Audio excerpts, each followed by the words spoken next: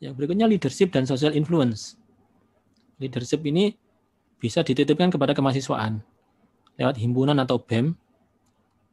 Bisa juga di dalam mata kuliah melalui tugas-tugas kelompok. Kemudian social influence, kalau bisa sih, namanya pengabdian masyarakat itu berbasis kepada mata kuliah, juga berbasis kepada bidang kajian kita tadi. Kalau di sana tadi kita ngomongkan tentang game, mobile, dan game, bisa jadi social influence ini kita ambilkan dari pengalaman di masyarakat. Jadi saya contohkan misalnya mitra kita, misalnya Pak Lurah. Pak Lurahnya kepingin supaya administrasi di kelurahan itu lancar sehingga kalau ngurus KTP syarat-syaratnya bisa diupload lebih dahulu diupload diupload diupload nah, anak-anak yang pemrograman mobile bisa berusaha untuk mensupport beliau jadi social influence ini apa yang terjadi di tengah-tengah masyarakat kita jadikan sebagai bagian dari pembelajaran di kelas Oke. teknologi use monitoring and control teknologi desain and programming ini sebetulnya sih jurusan apa pun ya. Nggak jurusan informatika saja ternyata disuruh bisa program. Berarti informatika bisa buka salah satu mata kuliah yang layanan untuk mata kuliah di prodi-prodi lain. Layanan artinya prodi lain nanti bisa ngambil mata kuliah ini. Silakan mau Python mau apa pun yang bisa dimainkan untuk orang yang non informatika. Ya, Bapak Dekan bisa bikin tugas yang tugasnya itu untuk setiap prodi itu punya kemampuan programming. Walaupun nggak banyak, sebisa mungkin punya kemampuan programming. Humaniora masa ada programming? Ya dikit-dikit punya lah. Misalnya pemasaran, pemasaran walaupun sedikit usahakan punya. Marketing ini. Misalnya dia cara mengcluster customer. Ya belajarlah cara mengcluster customer itu bagaimana. Customernya ada seribu ini di cluster nanti dipelajari behaviornya. Sehingga kalau mau promosi ke mereka, itu kontennya apa yang paling sesuai. Betul nggak ya? Oke. Itu programming. Diusahakan barangkali jurusan lain di fakultas eh, yang ada di Darta untuk bisa tahu mana saja yang kira-kira bisa ditambahkan eh, programmingnya. Itu. Ada ini. Coba saya Yudata tadi ya dari fakultas-fakultas yang ada ini. Eh berapa fakultas sih pak saat ini lima fakultas 16 jurusan nah ya lima fakultas 6, 16 jurusan oke okay. itu kalau bisa mereka itu punya kemampuan programming Ya mungkin mesin juga bisa, sipil juga bisa. Hmm, sekarang ini sipil itu malah lagi kayak diajar sama 3D printer. Saudara-saudara mereka bangun sesuatu ternyata kalau sudah ada gambarnya yang 3D tinggal enter jadi bangunannya itu 3D printer.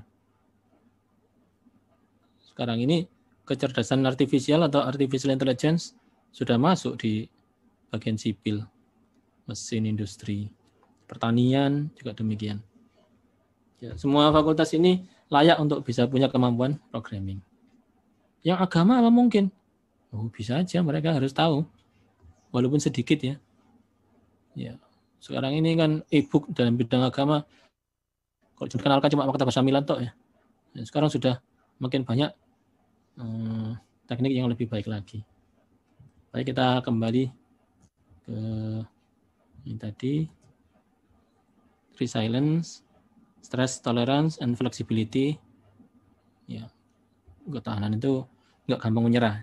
Reasoning, cara bikin eh, apa alasan itu artinya analisis satu masalah, problem solving dan ideation. Ideation. Ya. Karena itu mereka harus diajari komputer komputer meskipun bukan bidang informatika. Ini ungkapan dari Pak siapa ini? punya Accenture ini, Pak Pierre Nantem. Nantem. Digital itu adalah main reason. Just over half of the companies on the Fortune 500 ya disappear. Jadi gara-gara digitalisasi saat ini, itu banyak perusahaan besar itu pada hilang.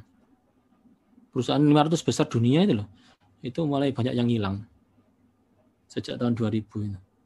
Ya kita tahu lah Fuji kayak gitu kan, luar biasa dulu itu. Sekarang begitu ditemukan kamera digital, ngapain kita nyetak foto? Coba kita perlu nggak sekarang nyetak foto? Ya perlu, tapi beberapa aja, paling beberapa lembar itu aja. Ya, untuk kena taruh tembok. Tapi hari-hari kan nggak, perlu sudah. Untuk album juga pakai kamera digital sudah ribuan foto bisa kita simpan. Nah, ada satu yang saya coba highlight di sini. Keberpihakan kepada anak muda yang baru tumbuh dan berkreasi. Saat ini bisnis-bisnis yang baru ini itu banyak dikuasai bisnis yang orientasinya adalah anak, -anak muda ini yang baru tumbuh. Kenapa kok baru tumbuh? Soalnya bisnis yang baru ini dulunya nggak ada. Yang ada adalah saat ini nih. Berarti mereka tidak terpaku kepada yang sudah terjadi. Makanya orang tua-tua biasanya orang yang sudah punya pengalaman banyak itu mereka banyak mengalami trauma-trauma. Gak mungkin iso orang Indonesia kok gak mungkin iso. Masyarakat gak kilo gelem, gak kiro gak kironya terlalu banyak di kepalanya itu. Akibat pengalaman masa lalunya. Nah kalau anak baru, anak muda, itu kan nggak punya pengalaman masa lalu seperti itu. Pikirannya, idenya itu sering kali liar. Ide opini begitu, opini opini. Siapa yang bayangkan dulu dengan Tokopedia seperti ini? bisa beli pala bakul rujak aja bisa dibeli dari kampung lain. Jangan dulu yang enggak, bakul rujak itu ya kampung situ yang beli. Beli tahu tempe ya di situ. Sekarang beli apa pun kita tinggal milih tokonya di Tokopedia. Ini adalah ide-ide orang yang memang tidak punya masa lalu yang berat. Sehingga berkreasinya itu tanpa batas. Enggak ada keterbatasan. Kalau ada yang punya waktu bisa ke Surabaya, coba ke Jalan Tunjungan. Di sana ada koridor. Itu salah satunya yang aktif di situ ada relief. Dia punya analisis bahwa jumlah psikolog di Indonesia itu nggak banyak dan orang yang punya masalah pribadi itu banyak. Tapi mereka nggak bisa akses psikolog. Nah, karena itu disediakan apps yang namanya Relief ini, yang isinya adalah himpunan psikolog Indonesia dan mahasiswa jurusan psikologi. Sehingga customernya bisa sharing, bisa konsultasi terhadap apa yang mereka depresi sekarang. Ini relief, ini riblat ini, ini apps juga dia bisa melayani calon donor darah, pendonor, ini nemu tempat yang untuk bisa donor atau customernya orang yang butuh darah, di mana dia bisa mendapatkan darah. Mungkin ada orang Pasuruan lagi di rumah sakit butuh transfusi darah. Tapi darah yang tipe yang dia punya itu nggak ada di PMI-nya. Ini bisa dicek di sini nih. Di mana sih darah itu berada? Dan bagaimana cara mendapatkannya itu ada. Ini riblat ini punya andil besar ya dalam kesehatan manfaat. Zaman dulu ya nggak mungkin darah itu ya PMI. Harus ngomong sama rumah sakit ya sudah. Ini yang saya sebut kreativitas tadi. Ide yang seperti ini kita mainkan di dalam kelas-kelas kita entah itu kelas database, kelas jaringan, pemrograman web, pemrograman game, itu semua kita bisa mainkan di sana dengan project-project yang idenya juga silakan seliar mungkin, sengawur-ngawur mungkin. Ya tentu saja ada dosennya, dosennya yang mengarahkan. Kalau terlalu ngawur nanti nyasar-nyasar masuk hutan nggak bisa keluar lagi. Nah, dosennya yang mengarahkan. Awas awas, ada jurang. Kalau nyemplung kamu nggak bisa bangun lagi nanti belok kiri, belok kiri. Itu ada dosanya. Yang agenda kota ini apps juga ini. Aplikasinya bisa tahu nih informasi tentang acara dan event. Sehingga kita bisa menghubungkan masyarakat yang butuh hiburan dan pihak penyelenggara yang ingin acaranya dipadati pengunjung. Sekarang mungkin belum bisa ya ada ada pandemi, tapi banyak juga sekarang ini event-event baru yang diadakan secara online. Tidak tahu ini dalam sehari berapa webinar ini. Saya bingung juga ini yang diikuti yang mana ya. Yes, yang wajib wajib aja yang perintahkan oleh kampus oleh pimpinan ya harus ikut. Tapi yang enggak diwajibkan ya nanti dulu ya. saking banyaknya dalam tiap hari. Belum dari di YouTube itu. Banyak sekali yang pintar yang bagus-bagus juga banyak. Baik nanti ini berarti SKPI-nya harus dibikin ketika anak lulus itu semua dimasukkan ke sini ke SKPI rumusan CPL-nya tadi sudah dan yang baru ya tadi masuk perlu diedit lagi direvisi kemudian kejuaraan apa yang dia punya kalau bisa dibikinkan SIM, SIM tentang prestasi mahasiswa. Silakan Bapak Dekan menganggarkan untuk pengembangan sebuah SIM yang mencatat semua prestasi mahasiswa. Tujuannya ketika menerbitkan SKPI nanti semua prestasi itu bisa langsung diupload ke dalam SKPI. Termasuk juga dia ikut UK, unit kegiatan ekstrakurikuler apa saja itu bisa dimasukkan ke dalam SKPI. Untuk KP kerja praktek atau magang atau internship itu masuk di, sini dituliskan dengan detail. Supaya apa? Supaya jadi profil anak itu ketika dia melamar pekerjaan, dia akan dibaca sebagai pengalaman yang menguntungkan. Yang kelima ini juga kalau ikut pelatihan-pelatihan apa pun, sekali lagi di SIM tadi itu kalau misalnya bisa menampung ini semua, ini tinggal di retrieve dimasukkan ke dalam SKPI. Gitu. Ini SKPI, surat keterangan mendampingi jasa. Bidata sudah bikin kan ya SKPI untuk setiap lulusan? Sudah, Prof. Oke, baik. Ini dilengkapi dengan itu. Oke, sekarang kita masuk ke yang Merdeka Belajar. Jadi kalau kurikulumnya yang kakak ini tadi sudah komplit, baru kita bisa mulai ini. Jadi kalau belum komplit di sana, masuk ke sini, nanti nyasar-nyasar kita. Karena belum ada kelengkapannya, tapi sudah berangkat. Jadi kendaraannya dilengkapi dulu. lampu ratingnya, lampu dimnya semuanya beres, bensinnya ada, baru kita masuk ke Merdeka Belajar. Ya, pada intinya yang paling heboh dari Merdeka Belajar ini adalah hak belajar tiga semester di luar prodi. Ini ada di dalam buku panduan Merdeka Belajar Kampus Merdeka. Silakan di-download bukunya ini. Udah pada download kan ya? Bisa langsung dibuka di sana. Permendikbud diatur oleh Menteri Pendidikan Kebudayaan. Hak belajar ini berarti hak dari mahasiswa yang harus dipenuhi oleh kampus. Bukan haknya kampus untuk ditawarkan, bukan haknya kampus ini. Kampus itu wajib menyediakan kapan hari ada yang bilang Pak Rektornya, oh kami nggak berencana kok bikin merdeka belajar, nggak berencana ngambil. Loh, bukan ber, bukan berhak Pak, apa itu wajib. Itu ada punya itu. Mahasiswa yang berhak. Mahasiswa berhak ngambil dan berhak tidak ngambil.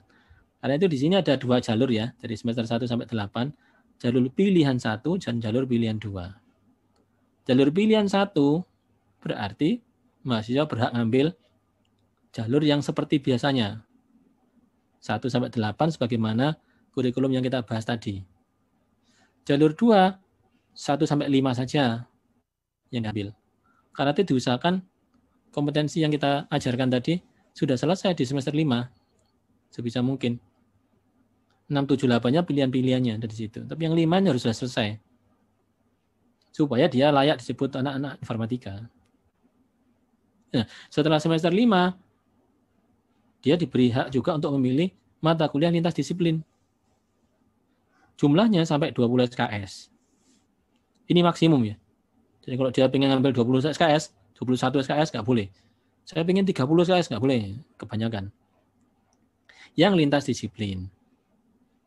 20 SKS mungkin setara misalnya 7 mata kuliah, jadi 21 tambah satu ya. Satu satunya dari sini boleh saja.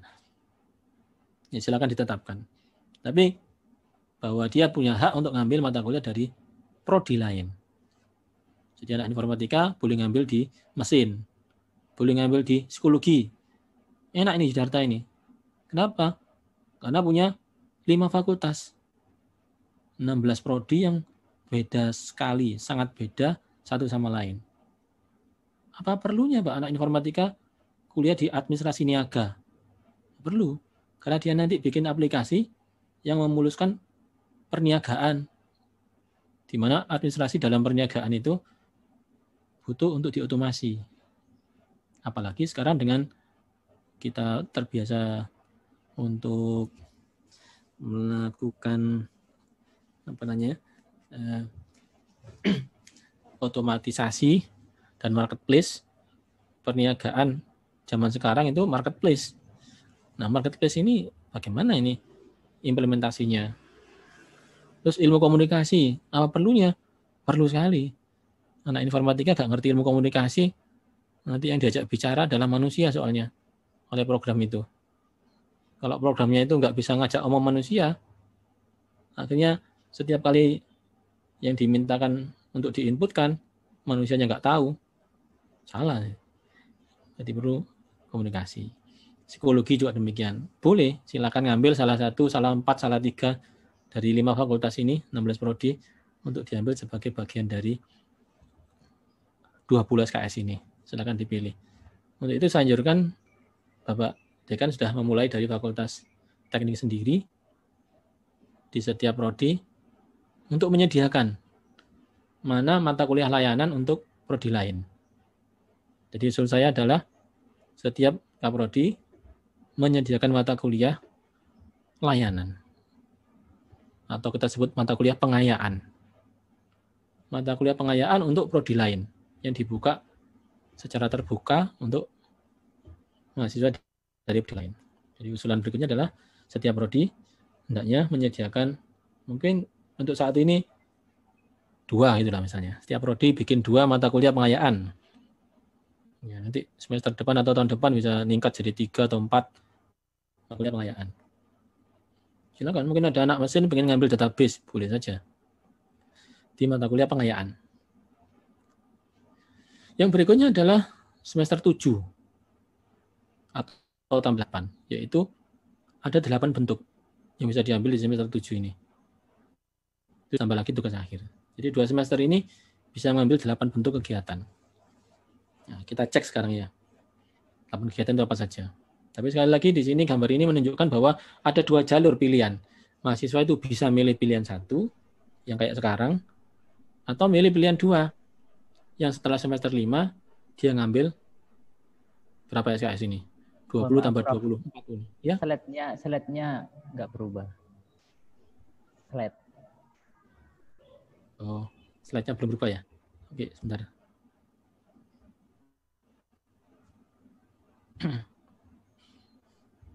Ini sudah nampak? Sudah nampak kah? Sudah. Sudah nampak belum? Sudah ya. Jadi ada pilihan satu dan pilihan dua. Yang pilihan satu adalah sesuai dengan kurikulum kita tadi. Yang pilihan dua hanya sampai semester lima yang sama dengan kurikulum kita. Yang 678 itu boleh pilih 20 SKS di dalam kampus Yudarta sendiri, tapi beda prodi yang 20 SKS lagi di luar Yudarta. Ini yang agak membingungkan yang di luar prodi ini, yang di luar perguruan tinggi ini. Yudarta mau kerjasama sama mana? Itu, itu yang perlu ditanyakan. Nah, Alhamdulillah kita punya PTNU. PTNU ini bisa diajak bicaranya. Misalnya ngomong sama Komarudin, Komarudin, sama Unibdu, sama Nurul Jadid, punya Universitas Nurul Jadid. Itu mereka semua itu juga butuh kerjasama. Karena itu silakan aja kapan-kapan kumpul, cocok-cocokan mata kuliah. Mata kuliah mana yang mau diambil oleh kampus dari mahasiswa kampus masing-masing. Bisa saling mengambil. Apakah wajib? Tidak wajib. Ini hak.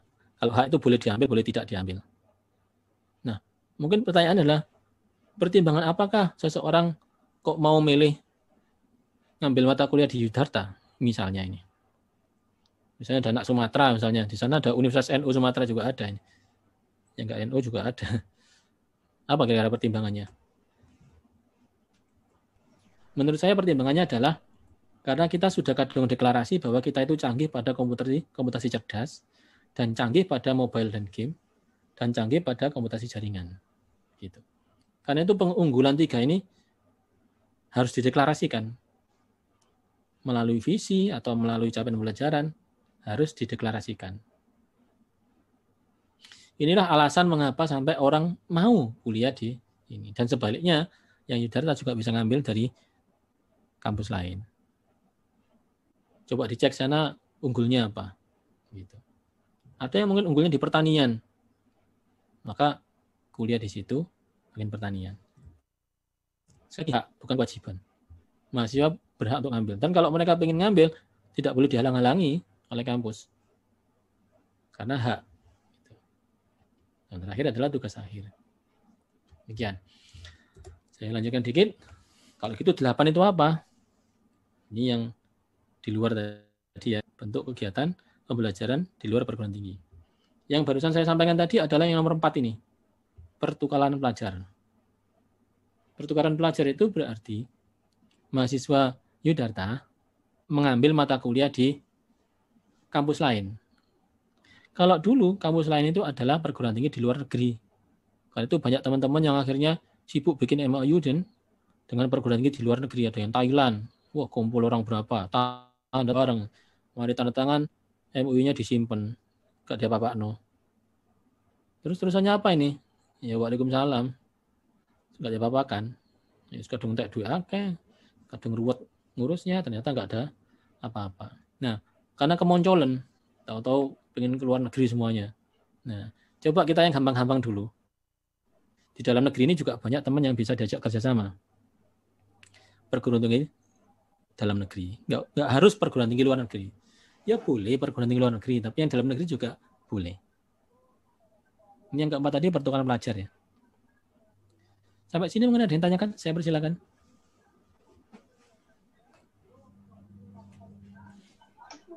Apa boleh anu jawab Pak apa e, ngecek e, apa yang udah saya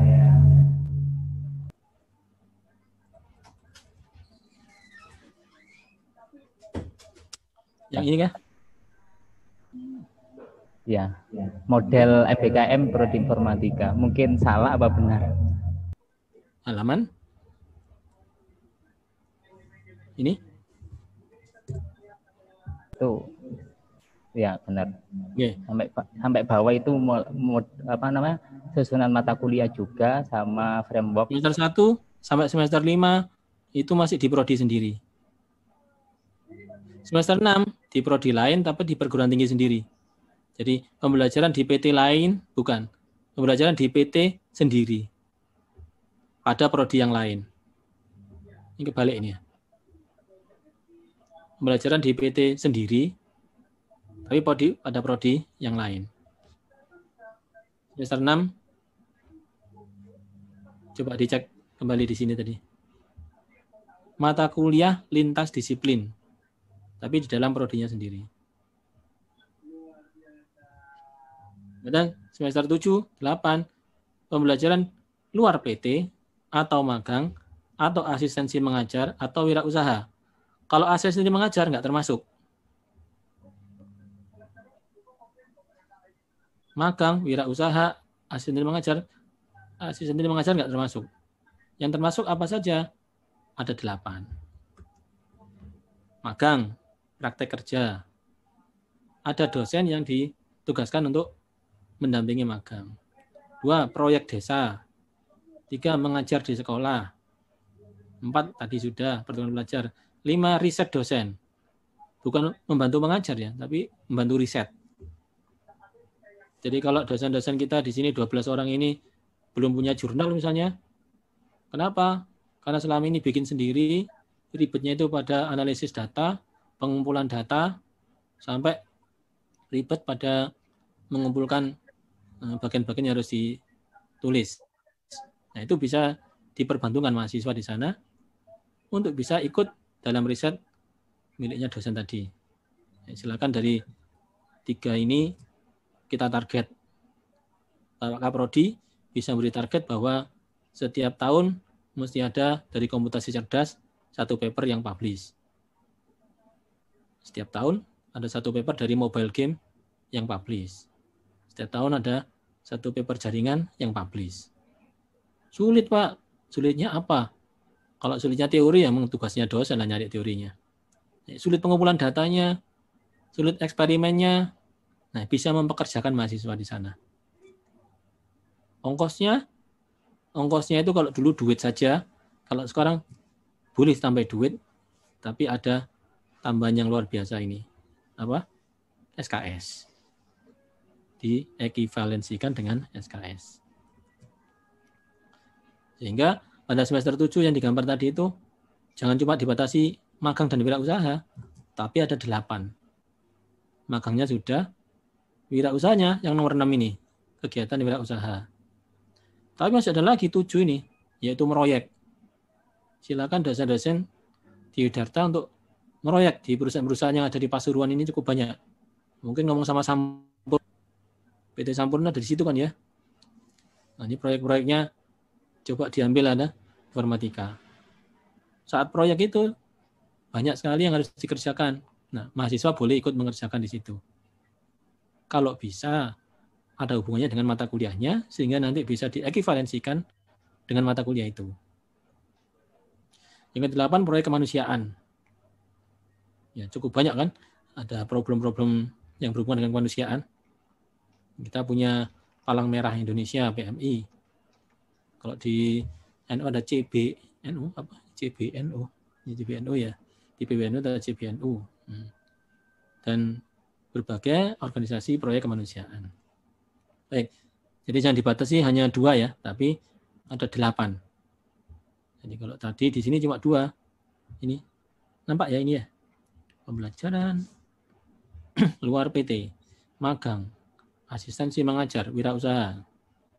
Asistensi mengajar kita hapus, untuk magang dan wirausaha ini sah, tapi nggak cuma dua, ada delapan. Semester delapan seminar dan skripsi. Skripsinya apakah boleh dari wirausahanya tadi deskripsikan? Boleh, tidak masalah juga. Jadi wirausaha tadi dijadikan sebagai skripsi. Sah juga. Atau dilanjutkan ya dari wirausaha itu dilanjutkan menjadi skripsi.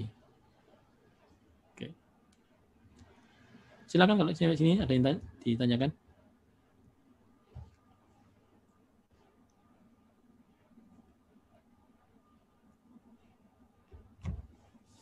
Ada pertanyaan saya? Saya persilakan. Ya, Prof. Yang asistensi mengajar maksud saya karena eh, profil lulusan kita itu ada beberapa yang menjadi guru SMK. Kemudian di Pasuruan itu banyak SMK yang bidangnya itu RPL, kemudian jaringan komputer. Apakah boleh nanti kita asistensi mengajar ke beberapa sekolah itu di wilayah Pasuruan? Hmm, baik. Kalau di eh, dokumentasi kita Mari kita cek sebentar.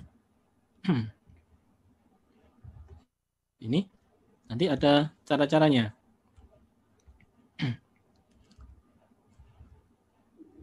Ya, langsung kepada mengajar ya. Mengajar. Baik independen, kemanusiaan. Nih, asisten mengajar di satuan pendidikan. Jadi bukan di dalam kelas kita, sekolah dasar, menengah, maupun atas. Sekolah tempat praktek mengajar dapat berada di lokasi kota maupun daerah terpencil. Tujuannya memberikan kesempatan bagi mahasiswa yang memiliki minat dalam bidang pendidikan untuk turut serta mengajar dan dalam ilmunya dengan cara jadi guru di satuan pendidikan itu. Tujuan lain, membantu meningkatkan pemerataan kualitas pendidikan serta relevansi pendidikan dasar dan menengah dengan pendidikan tinggi dan perkembangan zaman. Caranya yang seperti ini. Daftar mata kuliah di KRS, pembekalan, jadi sebelum diberangkatkan itu ada acara-acara pembekalan. Diberikan pembekalan oleh dosen. Jadi enggak terus dia nyambi ngajar begitu, bukan, tapi diri, diniati ini. Direncanakan dengan baik. Pembekalan ini dilakukan untuk mempersiapkan rencana kegiatan yang akan dilaksanakan saat berada di SMK tadi. Dia ada persiapannya. Jadi kalau syukur berangkat, ini enggak masuk yang ini. Berikutnya kolaborasi dengan satuan pendidikan. Mahasiswa datang ke sekolah itu dan melakukan kolaborasi terkait dengan program-program yang akan diselenggarakan selama di satuan pendidikan itu. Ada rapat dulu, apa yang kira-kira akan dipecahkan. Saya kira nggak sulit dan ini, ini cuma sekedar e, pertemuan, tapi harus ada supaya tidak asal ngajar. Yang berikutnya mengajar, menjalankan program-program pengajaran yang telah direncanakan tadi sampai penilaian akhir yaitu dilakukan dosen pembimbing dari kampus bersama guru eh, pamong di Satuan Pendidikan Mitra. Sekali lagi di sini ada pembimbingnya. Tidak asal berangkat, tapi di dalam Yudhara sendiri ada dosen yang dicerai untuk membimbing. Berarti ada konsultasi di situ. Ya. Kalau sudah selesai, maka diberikan penilaian. Baik oleh dosen maupun oleh kepala sekolah di sana atau guru pendamping di sana. Nah, kalau sudah selesai, dikonversikan acara itu, mengkonversi nilai dan pengakuan SKS-nya. Nah, saya kira nggak wajib harus jurusannya yang RPL dan komputer, nggak harus begitu. Jurusan lain pun tidak masalah. Apalagi di udara sendiri kan punya unit sekolah banyak sekali ya. Satuan pendidikan di Ngalah sendiri kan membutuhkan itu ya. Nah, itu ada teknisnya. Terus lapor PD Dikti untuk dimasukkan sebagai SKS. Saya kira itu, Pak. Oke? Itu ya. Ya, Prof. Ini untuk yang uh, belajar di prodi lain dalam kampus, ini untuk konversi ma mata kuliahnya gimana? Kemudian sedangkan kadang setiap prodi itu mempunyai beban SKS yang berbeda. Baik. Kita sekarang menuju ke yang eh, ngambil dari mata kuliah tetangga ya. Lagi praktek kerja, penelitian riset, studi proyek independen, proyek kemanusiaan, wirausaha. Oh, tadi nggak sampai situ. Baik, kalau dari prodi lain atau dari kampus lain, kita kan mesti musyawarah dulu nih.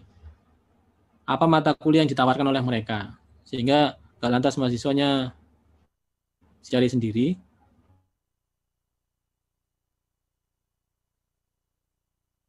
tapi kita padahi.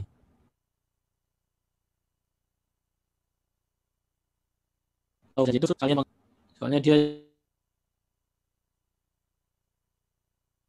dia cuma bangun cukup dari rumah masing-masing WFH kita SFH ya. Studi from home. Dan mungkin nggak sampai ngerepoti sana mungkin satu-satunya yang ngerepoti adalah ada penilaian. Penilaiannya oleh dosen itu. Mungkin juga repot juga bikin transkripnya.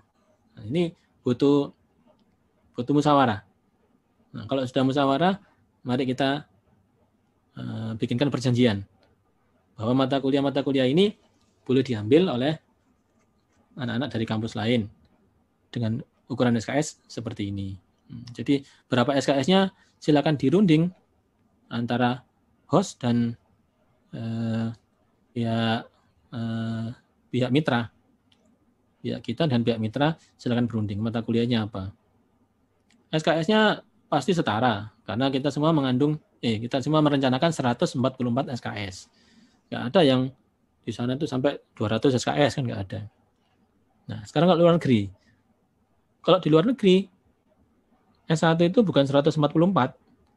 Ada yang 200, ada 150, ada mungkin 250 bisa jadi. Nah, saya sarankan tetap musyawarah dulu di sana, terus dilihat seberapa banyak aktivitasnya. Soalnya satu mata kuliah itu bukan 2-3 SKS di sana, tapi mungkin bisa 6 SKS, 7 SKS begitu. Hmm. Kalau kita lihat jam kegiatannya itu kira-kira setara di sini 4 SKS, ya sudah, yang 7 tadi jadikan 4 SKS. Hanya 7 kreditnya orang sana itu ternyata 4 SKS-nya orang sini, misalnya begitu. Nah, ini setelah kita kerja sama tadi musyawarah, atau kita pelajari dulu jam belajarnya di sana, akhirnya ketemulah setara berapa SKS kalau di sini. Untuk diketahui aja kalau di peraturan ini tadi 50 menit tatap muka, 60 menit kegiatan tersebut eh 50 ya. 50 menit kegiatan struktur dan 50 menit kegiatan mandiri. Jadi total 150 menit untuk satu SKS. Nah, temukannya sekarang diganti jam kegiatan. Nah, kalau emang satu SKS adalah 150 seperti ini, ya berarti sama. 150-nya sana itu satu SKS-nya satu SKS ini gitu. Ya, paling gampang itu dilihat dari totalnya berapa SKS sih? Totalnya sini 200 Mas dari SKS. Oh, tempat kami 144. Ya, paling gampang di Porogapit aja ya, dikalikan ya 144 per 200 gitu. Porogapit. Tapi mungkin lebih bijaksananya adalah dilihat dari berapa jam kegiatan di sana. Gitu. Tapi kalau masih di Indonesia pasti menggunakan standar yang sama, 144 SKS. SKS yang sama. Saya kira demikian. Ada lagi yang tanyakan? Ya, ada tulisan ini, publik bisa untuk pemrograman untuk mendukung mata kuliah e-government. Ya, betul. Jadi kita bisa ngambil mata kuliah dari prodi lain di Udarta demi untuk nanti TA-nya di bidang e-government. Sah, boleh aja. Dan itu SKS-nya bisa dikonversi untuk mata kuliah yang kira-kira bisa di-replace. Nah, namanya kira-kira bisa di-replace itu ya ada analisisnya. Cuman tidak kenceng-kenceng, tidak saklek sekali, harus persis mata kuliah namanya apa, nggak harus begitu. Jadi perkirakan cocoknya untuk mata kuliah. Eh, tanya cara konversi mata kuliah dengan prodi lain dalam perguruan tinggi. Bagaimana acuan teknisnya? Di mana enggak adanya? Harus dibuka nih bukunya ini. Buku AM-nya dibuka ya. Sebentar saya bukakan dulu. Yang pada intinya sekarang ini kita melakukan apa saja, ini perguruan tinggi atau rektorat melakukan ini, untuk dekan melakukan ini, untuk kaprodi melakukan ini, untuk mahasiswa ini, mitra ini.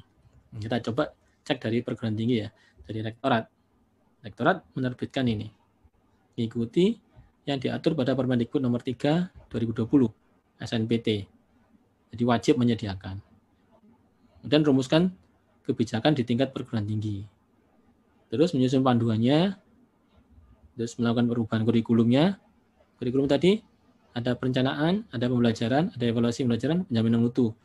Untuk yang lurus 1 sampai 8 di, di dalam aja seperti yang lama boleh pilihan satu dan untuk yang pilihan dua itu setelah melewati semester 5 akan ada evaluasi apakah boleh untuk mengambil yang mata kuliah luar prodi. Yang kelima menyusun prosedur operasional tata cara mengambil SKS ini. Sekali lagi ini perlu komunikasi nih antar prodi. Silakan rapat rapat rapat pimpinan ya, rapat pimpinan para kaprodi kumpul dipandu oleh dekan dan PR1 untuk membahas tentang bagaimana operasionalnya ini, cara ngambilnya. Ya bagaimanapun kan kita harus tahu kan eh, SDM dari prodi yang lain itu bagaimana. Gitu ya. Kemudian kalau ada kerjasama dengan mitra luar misalnya, kita perlu MOU dan SPK. MOU itu Memorandum of Understanding, yang tanda tangan adalah sesama rektor. Bahwa kita punya kerjasama. Tapi kerjasama aja nggak cukup, kita harus sampai ke bagaimana realisasinya, alias perjanjian kerjasama, mengatur detailnya. Itu yang saya sebut tadi tentang pembayaran juga. Nanti mereka bayar berapa? Ada beberapa perguruan tinggi yang saling menggratiskan istilahnya resiprokal. Resiprokal itu kalau sampai ngirim saya 10, saya juga harus ngirim sampai 10, sama-sama nggak usah bayar ya. Nah, gitu. Jadi kayak barter gitu. Ada yang mesti bayar, bayarnya berapa. Itu kalau dari tingkat fakultas memfasilitasi daftar mata kuliahnya dan menyiapkan dokumen kerjasamanya. Udah diparap duluan, baru dikirim kepada rektorat. Kaprodi menyesuaikan kurikulum dengan model implementasi merdeka, merdeka ini Nah ini tadi sudah walaupun meski meskipun harus apa di revisi sedikit tadi, misalnya semesternya misalnya mulai semester 6 untuk di luar prodi. Memfasilitasi mahasiswa yang mengambil pelajaran lintas prodi difasilitasi dan menawarkan mata kuliah yang bisa diambil. Apa saja mata kuliah yang perlu diambil di luar prodi, di luar perguruan tinggi. Jadi emang nggak sembarangan, nggak sembarangan langsung ngambil ke luar negeri misalnya tiba-tiba berangkat ke luar negeri ngambil mata kuliah apa? Nanti dulu. Ini punya kerjasama nggak? Berjanjian sama rektor. Dan petunjuknya bagaimana? Kira gitu. Terus ada mata kuliah SKS yang belum terpenuhi dari kegiatan belajar luar prodi dan luar perguruan tinggi disiapkan alternatif mata kuliah daring. Sehingga meskipun dia misalnya magang di suatu tempat dia masih bisa kuliah sambil magang itu. Misalnya dia kerja di Surabaya magang di Surabaya bisa masih tetap mengambil mata kuliah kuliahnya yaitu daring. Jadi mahasiswa sendiri ini perlu rencana dengan dosen bimbing akademik. Enggak tiba-tiba berangkat, tapi tanya dulu dosen wali. Terus mendaftar program kegiatan berprodi. Ini mengikuti SOP-nya kampus. Persyaratan-persyaratan ini. Dan mitra menyiapkan dokumen kerjasama dan melaksanakan kerjasama itu kira ini yang sudah digunakan di beberapa kampus cara-cara ini dan sudah berhasil. Ini contoh yang berhasil seperti ini nih. Mahasiswa teknik kimia magang 6 bulan di petrokimia. Nanti dia belajar ini, ini, ini, ini. Jadi ada yang mau dipelajari ini, nggak asal berangkat ini. Nah, sudah jelas. Nah, nanti dikonversi di dalam kampus seperti ini konversinya. Dari hard skill ternyata dia melakukan ini, ini dan ini nilainya itu berapa. Dari soft skill dia melakukan ini, ini, ini nilainya berapa. Jadi ada konversinya.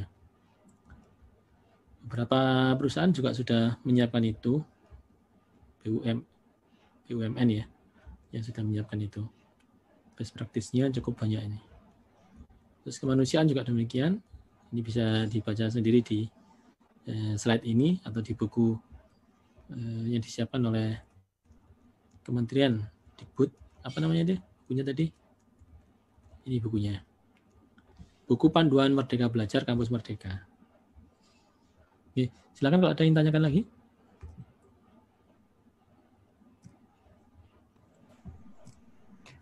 Untuk eh, pelaksanaan teknis kita kalau di informatika misalkan yang belajar di prodi lain dalam kampus itu kita taruh antar eh, apa semester mulai semester 1, 2, 3 sampai 5 boleh Kak Prof?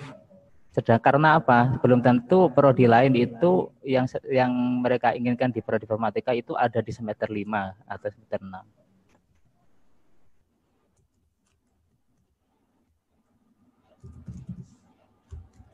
Diulangi Pak, kok nggak jelas ini. Uh, eh, MK yang di prodi lain itu kalau settingannya misalkan uh, ditaruh di semester 6. Oke, okay, oke. Okay. Nah, misalkan di Yudarta itu kan kadang prodi itu ngupload menyusun kurikulum MK-nya itu kan di setiap semester sedangkan semester 5 itu enggak ada yang kita cari, adanya di semester 1, 3 atau yang lain. Oke, baik. Kalau sekarang anaknya 100, statusnya sedang semester 6 misalnya ya. Anak ini anak angkatan 2000 berapa? 18 misalnya, eh? Ya, 18 kan semester 5 ya.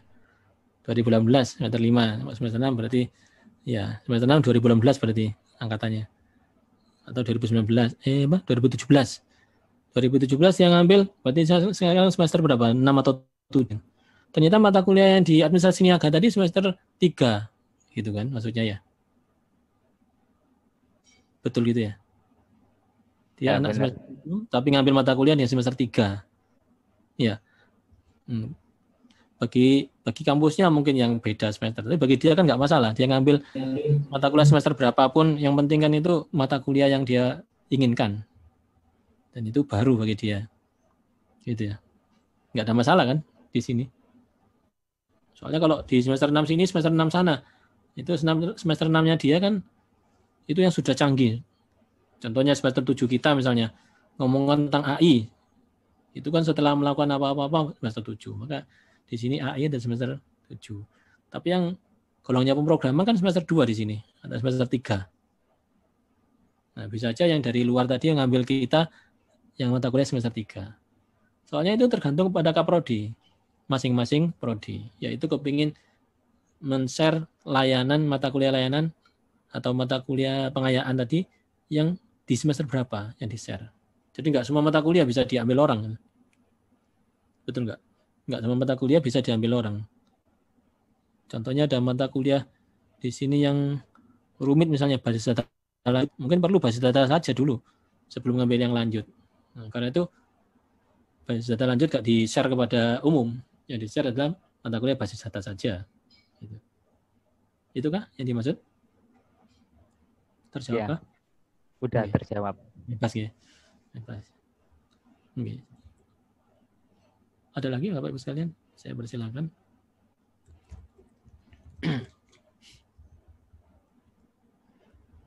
Mungkin dari Kaprodi Lintas Teknik, monggo ada yang perlu tanyakan? Saya lagi nyari tadi itu. Tanggung jawab lembaga, laboratorium, masih penelitian. Ya, Assalamualaikum Pak. Uh, Salam. Bagus. Ya, uh, silakan Pak. Ini yang uh, berkaitan dengan kurikulum Merdeka Belajar. Okay. Itu yang uh, magang, ya magang. Artinya ketika mahasiswa itu memilih magang, uh, kurikulum itu kan menyediakan uh, mata kuliah, menyediakan mata kuliah yang dimagangkan.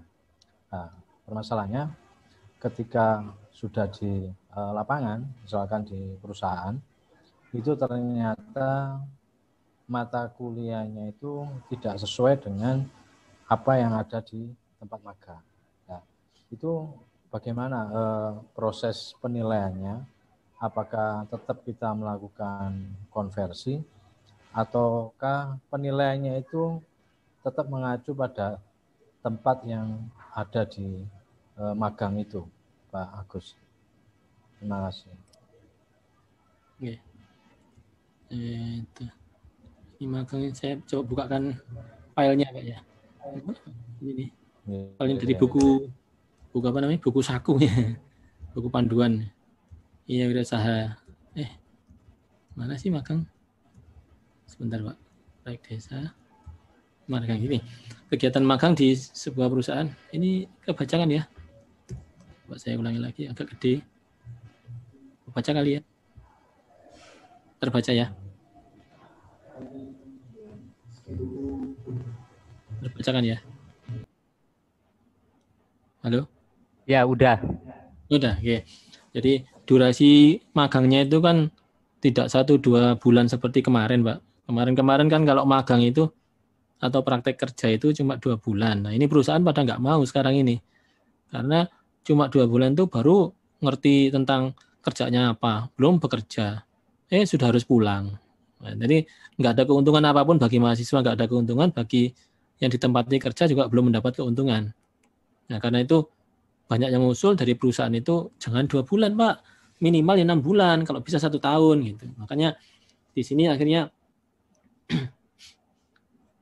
program magangnya itu satu sampai dua semester.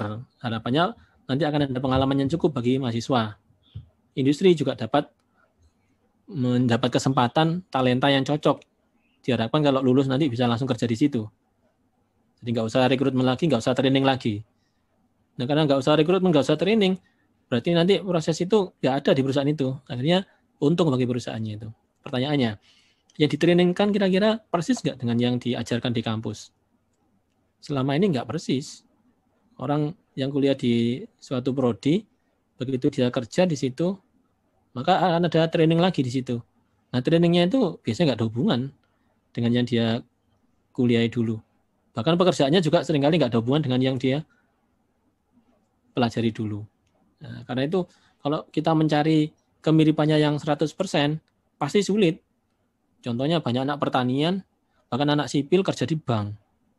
Anak sipil kerja di bank itu ada hubungannya sedikit-sedikit. Misalnya untuk appraisal,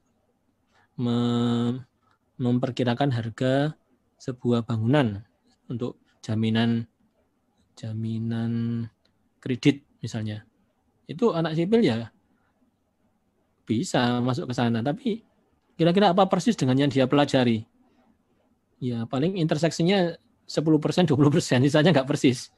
Nah, karena itulah di sini butuh eh, ke, kejelian di situ untuk pembinaan anak-anak magang ini. Jadi dari perusahaannya sendiri menyediakan orang atau tidak. Yang repot ini justru perusahaannya itu loh, menyediakan apa tidaknya itu. Dia nggak mau menyediakan orang masalahnya. Nah, padahal ini butuh di dalam perusahaan itu. Siapa yang membimbing dia di sana?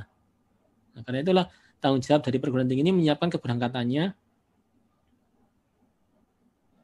menugaskan dosen pembimbing yang akan membimbing mahasiswa itu selama magang, harus ada pembimbingnya, Bila dimungkinkan, pembimbingnya dulu yang melakukan kunjungan ke sana untuk mengetahui monitoring evaluasinya. Kalau bisa begitu. Dosen pembimbing bersama supervisor melakukan penilaian capaian mahasiswa selama magang. Nah, supervisornya itu yang mesti nanti belajar. Kira-kira apa saja yang harus dikerjakan. Sehingga ketika dia selesai, kita bisa tawarkan kira-kira apa saja yang dia hmm, apa akan ambil sebagai bagian dari keberhasilannya itu. Perusahaan magang dia akan menjamin proses magang yang berkualitas sesuai kesepakatan. Ada supervisor, mentor, coach yang dampingi mahasiswa itu selama magang dan berikan hak jaminan sesuai peraturan perundang-undangan. Ada asuransi, keselamatan kerja, honor. Jangan sampai nggak dikasih honor. Mahasiswa harus ada honornya, walaupun sedikit, usahakan ada honornya. Sekarang ini lagi rame orang menyindir-nyindir perusahaan yang banyak mempekerjakan anak internship atau magang. Terutama perusahaan startup itu banyak yang melakukan internship dari mahasiswa ke perusahaan Didi. Perusahaannya maju, mahasiswanya nggak dapat apa-apa, semuanya cuma di iming-imingi ini pengalaman loh, ini pengalaman loh, tapi gak dibayar sama sekali. Ini disindir dengan lagi rame nih. Ya, harus diusahakan walaupun sedikit ada honornya. Maka supervisor mendampingi dan menilai kinerja mahasiswa itu selama magang. Bersama dosen pembimbing juga memberikan penilaian. Jadi ada supervisor, ada dosen pembimbing. Kira-kira rekognisinya seperti ini, Pak. Satu SKS itu setara 2.720 menit magang. Satu SKS. Nah, kalau sudah dihitung SKS-nya, total SKS-nya berapa, baru dikonversikan kepada mata kuliah apa gitu. Penilaian magang ini dilakukan dari dua sumber yaitu penilaian perguruan tinggi serta penilaian yang diberikan dari tempat mahasiswa mengikuti kegiatan magang. Nah, saya kira ini harus kerjasama dua pihak ini. ya, kemudian sebentar itu jalan nah ini dia akan bersertifikat ini ada contoh tadi di situ mana yang contoh tadi ya maaf saya tadi slide-nya udah sampai sana saya lewati ini pak contohnya ini apakah nampak di monitor Sudah ya. nampak ya? Ya. ya. Jadi jumlah ini 12 KS itu dinyatakan dalam bentuk kompetensi yang diperoleh oleh mahasiswa selama mengikuti program tersebut, baik hard skill maupun soft skill. Ini contohnya. Jadi mahasiswa kimia tadi selama di petrokimia dia belajar tentang apa saja. Nah, ini butuh supervisor ini. Nah, kalau supervisor sudah kayak gitu, sudah menunjukkan dia butuh ini, kita belajar telah belajar ini, sudah ini bentuk terstruktur atau struktur form. Kegiatan Merdeka Belajar juga dapat distrukturkan sesuai dengan kurikulum yang ditempuh oleh mahasiswa. 20 SKS tersebut dinyatakan dalam bentuk kesetaraan dengan mata kuliah yang ditawarkan yang kompetensinya sejalan dengan kegiatan. Saya ambil contoh. Ini yang dilakukan di lapangan ya. Ini sorry, yang yang kanan atas ini adalah miliknya supervisor ini. Yang putih atas ini. Kotak yang kiri bawah ini ini yang kita konversikan oleh Kaprodi atau dosen wali. Nah, di mata kuliah mata kuliah di jurusan kimia itu ada fenomena transport, ada mata kuliah unit operasi, mata kuliah industri proses kimia. Ini SKS demikian. Nah, yang kanan ini agak mudah. Supervisor bisa menilai seperti ini. Dia sudah belajar ini, Pak, merumuskan permasalahan keteknikan. Dia sudah belajar menyelesaikan permasalahan teknis di lapangan. Sudah belajar tentang sintesa dalam bentuk desain. Sana nggak ada hal teknisnya. Kalau bisa, kalau kita lihat di sini, Pak, kayaknya nggak ada yang sifatnya itu teknis sekali berhubungan dengan informatika. Betul nggak? Nggak ada ya. Tapi umum sekali. Cuma dalam hal merumuskan masalah keteknikan, dia kan bisa menggunakan konsep ER diagram.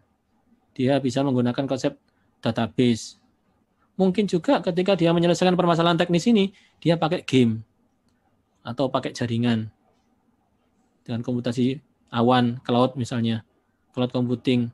Ketika dia sintesa, bisa saja dia menggunakan eh, cloud competition tadi. Ini tidak dijelaskan oleh pihak supervisor magang tadi. Nah, soft skill-nya juga demikian. Yang pasti dia melakukan kegiatan-kegiatan ini. Tahu dari mana?